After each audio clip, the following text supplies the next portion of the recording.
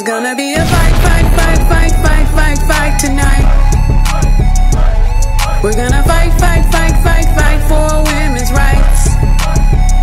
It's gonna be a fight, fight, fight, fight, fight, fight, fight tonight. We're gonna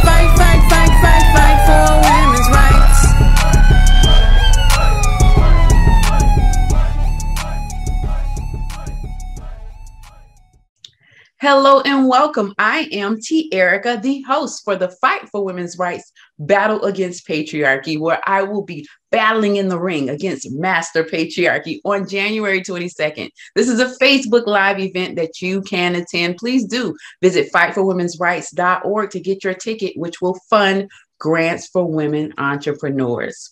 So today I'm very excited to talk with Na'ilah like Umbrella. she is a grassroots roots organizer and government policy advisor. Her work is all about lobbying to increase women's representation in government. Like, what? This is what all of us should be all about. So I'm very excited. Hey, Na'ilah, um, could you tell us a little bit more about your work?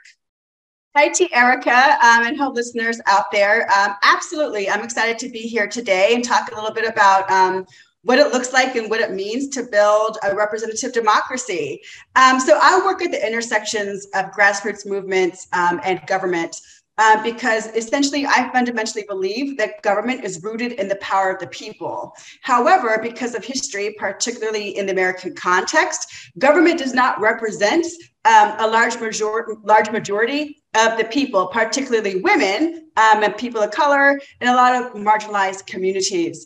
Um, what I'm very much focused on is increasing the representation of women in public office um, and political participation in general, right? Women can be politically active without necessarily being um, in elected office. Um, but you know, recruiting and training women to run for office is, is, is a passion of mine, something I'm very much dedicated to. Um, so again, I I'm very much committed to making sure that we are building out a democracy that is representative of who we are as a country. And a key step to that is making sure that those who represent us in government uh, look like the people that they were elected to govern at every level of government. Well, how do women in elected office impact policies? Why is this so important to have women represented more fervently? I love that question. Um, so I'm going to answer that through two different lenses, right? So let's talk about this concept of political representation. Right now, um, too few women, quite frankly, hold political office. Um, and this essentially results in political decisions that do not necessarily reflect the needs of women or the preferences of women and the impact that that has. Um, and so I come from the school of thought, um, which drives the work that I do, that, you know, the full and equitable participation of women in elected office is absolutely essential to making sure that we are building and sustaining a strong and vibrant democracy, right? Um, and because of that, because we all have different identities and our identities impact our lived experiences, that has a direct impact on our politics. Um, so I think it's important to frame this conversation with a few data points. So women are just above over 50% of, um, of the population in America. Um, it's essentially 51% of the population. However, at the congressional level, um, we are 26, we make up 26% um, of Congress, uh, 24% of the US Senate, um, 0% of presidencies, um, and 30% of statewide um, uh, uh, state legislators, right? And for American cities that have representation, that have um, over 100,000 people, 29%. However, I think it's really important when we're talking about identities that that's just the general number for women, which also equates to white women, because I think it's important to acknowledge like the racial nuances um, of representation politically. So when we're talking about the numbers of women of color in elected office, those numbers shrink considerably to only representation of 9% in Congress, 8% of state legislators, um, and only 14% of mayors in um, leading nation leading America's um, 100 largest cities, right? So to your question, um, you know, how does that impact policies? It impacts policies in a lot of different ways, right? So let's begin with gov- governance. The difference between how men um, and women elected officials govern. Um, can be you know discussed and has been discussed and researched a lot of different ways in terms of you know how we are raised or whether it's innate what have you but two things are for sure the way that women govern when they are in elected office that impacts policies is one women tend to build by consensus women tend to engage um, and a lot of a lot more collaborative processes when it comes to legislative discussions, when it comes to negotiations, um, much more so than men. Um, and women elected officials also research has found bring back more money into their districts right at the end of the day you know who is bringing home the bacon right because that's a big part of um, of, of, of, being elected official is not just passing policies, but also securing funding. And at the congressional level, uh, research again has found that um, women Congress, um, uh, Congress members deliver roughly 11% more every year in federal uh, funding to their home districts um, than their male colleagues.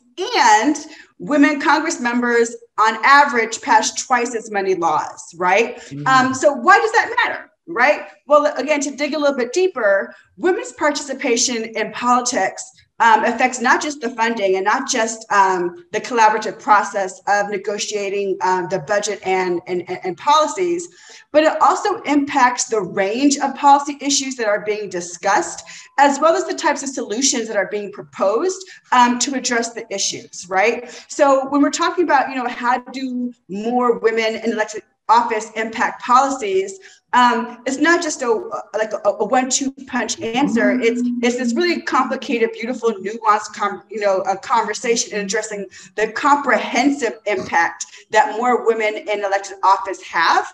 Um, because again, identities um, create lived experiences which impact um, politics, which have a direct, um, again, correlation in terms of an increase in policy making that emphasizes a quality of life issues um, and oftentimes policies that are more focused on families, um, uh, women, and other marginalized communities, which has been proven that the more women there are in office, that those are the issues that tend to be focused on more.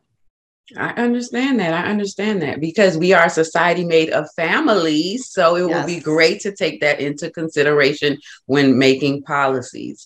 I do have another question for you. I have a friend who I think would be a great politician, but she shies away from the endeavor because she says that it's all corrupt and it's crazy. What I want to ask you is for women who are watching, how can we identify or how do you identify possible candidates who would be great political figures? How do you identify them and how do you convince them to give it a shot? I love this question. So, I think oftentimes for women, and particularly women of color, right, we fall into um, the I'm not qualified, I'm not ready. And so we spend a lot of time trying to build our resume. Um, trying to convince ourselves, i.e., really trying to convince society um, that we have the right to be at the table, right? Um, and I rebuke that. I rebuke Amen. that. I rebuke that because, again, because government represents us. You are us, right? Your story and your lived experiences absolutely qualify you for you to throw your hat into the political ring, right? And I think it's really important, particularly for, for, for women of color in, in, in, in America, that we have been politically active without necessarily being in elected office, right? And I and I challenge the woman out there who is already leading in her community, right? Already engaging in um, leadership roles and already has a spirit influence um, at the community or, or neighborhood level um, to begin to think about politics not as corrupt, um, although that's definitely a separate argument that I would not necessarily argue against. But I fundamentally believe that the more good people that we have in office, that we can really change the system and build a government together that represents the interests of the people who are not currently being fought for um, at every level of government, right? And that begins with us challenging ourselves as women, especially as women of color, to redefine our own understanding of leadership and that we are the solution to the problems that we are facing and that you have the power and as long as you have the character and the passion to serve your community you are absolutely qualified to run for public office in this country. Um, and again, I fundamentally believe, again, through a lot of messages that society tells us that we're too much of this or we're not enough of that, um, to understand that, that to acknowledge that is a reality that society does make those judgments about us, particularly because society hates ambitious Black and Brown women, but to also understand and recognize that until we until we find and build the courage individually and collectively as a community to understand and to recognize that collectively we have the power to redefine what ambition is and that it looks like us and to redefine the face of political leadership and that it looks like us. Then we can begin to build a movement that we can completely change the way that US government is structured because we are changing the people that make up government and that the people that make up government um, at best should be the people who are listening to your podcast, the people who are watching on, on Facebook Live, right? Like government is not this opaque, abstract, faraway thing that happens to us, but that we are foundational to the power that government has, and that power belongs to you. And I invite the women who are listening and watching to step into that power. Oh my God. I just feel so inspired. I have goosebumps and I'm I'm feeling like maybe I should go ahead and sign some paperwork or at least try yes. to identify other women. No, I identify other women to help you in this cause because this is amazing. You are absolutely right. We are the government. That's not some far removed ideal and, and position that we have to just watch what they do. We make up that and we should make it up if we know we have the character, the desire to lead, the yes. desire to change, the desire to inspire people, and the desire to see our communities grow. I love the work that you're doing. I am so excited to meet you today. Um, everyone out there, how can we find you to, to follow your work? Um, could you introduce your social media to us? Absolutely. Um, so I'm I'm around, as they say. I could be I could be followed on Twitter. Uh, my handle is first name last name N A I L A H. Last name is A M A R U. Um, you know, feel free to you know reach out. Again, if there are women out there who are interested in running for office, um, I wear a, a, lot of different hats, and I would absolutely love um, to connect them to resources um, and programs and, and and training opportunities um, where they can begin to take that first step. Again because women um, we are over 50% of the population and we hold half the sky. Mm. um, and because of that uh, we absolutely deserve every seat in every single legislative chamber in all 50 states and beyond. Um, and building building a society begins with um, again building the confidence and redefining our own understanding of power um, and how we can build it um, within ourselves how we can use it ourselves and how we can build it collectively um, through public policy as the tool um, to create a more equitable and just society my gosh, I am so excited. I am loving your advocacy. Oh, I appreciate meeting you so much, so much. Thank you so much for joining me today. The pleasure was absolutely mine. Thank you so much.